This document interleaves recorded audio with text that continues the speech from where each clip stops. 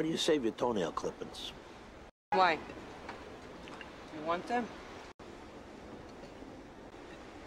If your enemy comes into possession of your nail or your hair clippings, they can make the evil on you. Well, I'm flattered that you would entrust me with your toenails, but can I pass without ruining the moment?